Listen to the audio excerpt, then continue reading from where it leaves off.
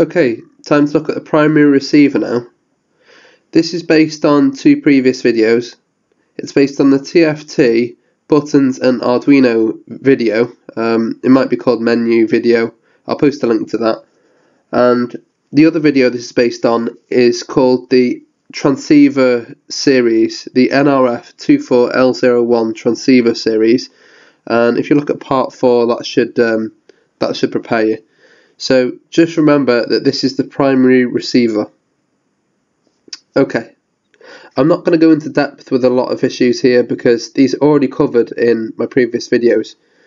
So I'm only going to show you the um, parts that you may not be aware of. Okay, so this code is a mix of um, of the two tutorials code basically with some bits added in. So I'll highlight the bits that have changed. Um, to start with, the menu. Of course, the menu is bigger because I'm transmitting more data, so there's got to be more uh, spaces for menu. So that's changed. So I've changed that to 7 instead of 4. I've added a new variable here to um, to set the printout length. This is accessed in two parts of the sketch now, so it makes sense to have a variable, set it once, and then whichever methods need to read it, they can easily get access to it via this. Silly things like this. This used to say in the previous video, it said something like hi Antony or hello Antony or something like that. I've just changed this to thanks, but it doesn't really matter at the moment. New stuff. So I've got a string array called decoded, and I'm actually getting the transmitter to transmit seven parts of data, comma separated, and that's why I need seven spaces. So I need seven uh, elements in an array to store the seven split variables. So that's what I need that for. Some variables have changed here, yeah, yeah, but they're just menu changes. So the top line is going to be a, almost like a menu title, and the bottom line is going to be for data. So you've seen this in a previous video. Now, SPI and chip select. Now we're going to be using more than one SPI device. It's probably a good idea to use the chip select. So chip select, the way it works is that you give a device a chip select pin and put that pin in the Arduino of course. So the TFT will have one pin for chip select and the NRF will have another pin for chip select. And what you do is that you tell the Arduino to set the one that you're talking to low. So you, you set that one low and you set the other one high. So the one we want to talk to, we set that chip selector low. When we finish talking to it, we set it back to high. And then you switch like that. So any devices that are high um, are basically deaf. And any devices that are set low in chip select are, um, are active. So you can see that in here, I'm setting things high and low um, when they need to. But the buttons haven't changed. And now. Okay, so new stuff. Decode the array into separate string using the comma delimiter. So what we're saying there is if received character 0 is hash, then do this. And that's good because the transmitter always transmits a string that starts with hash because we told it to. So if it doesn't start with hash, there's something wrong, and if there's something wrong, then ignore it. So in this case, it's right. So let's see. Temp2 equals string rec. So we want a repre representation of rec, which is the whole char array of the received data Uh, and store it in temp2. Then for each character in the received string, then go through it all until you find a comma or a semicolon. And then basically fill the decoded array with data from the incoming split by commas. And that's basically what that does. I'm not going to go into that in too much depth, but that's what that does. So at this point, we received a string of data, we split it into parts, and then we've put those parts into the uh, corresponding cell in an array. So update menu, you've seen that before.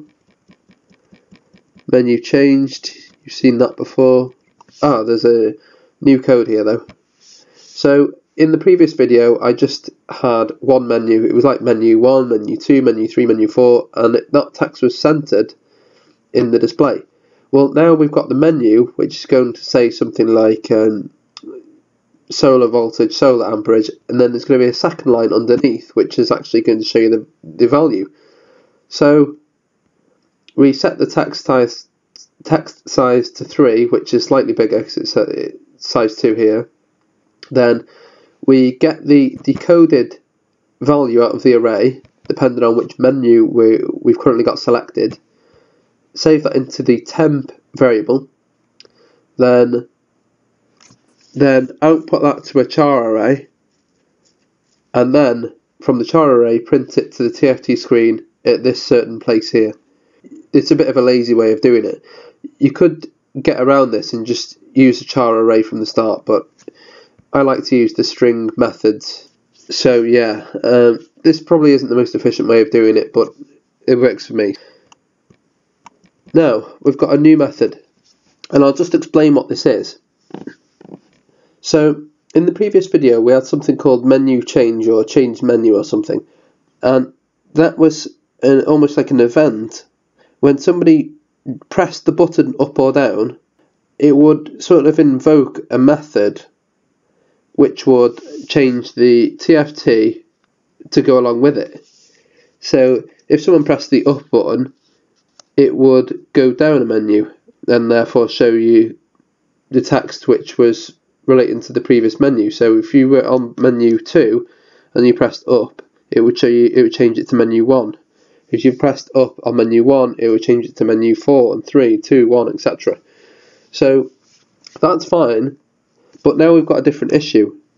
The TFT can update when somebody presses an, the up or down button, but now the TFT can also change if the value changes. So let's say we're on the same menu, like we're on maybe solar voltage menu, for example, and solar voltage is 28 volts. Well, a second later it could be 29 volts. So we need to somehow trigger um, an update to the TFT module in that way or for that circumstance. And this is exactly where this is used in the code. So I'll just show you what this method does now. Now, if you remember just um, a minute ago, I said that there are two parts of text printed to the TFT. There's the menu, which would be like, for example, solar voltage, and then there's a bit of text underneath it which displays the value. And we're not going to change the menu text, as I call it, because the menu hasn't changed. It's just simply the value is updated.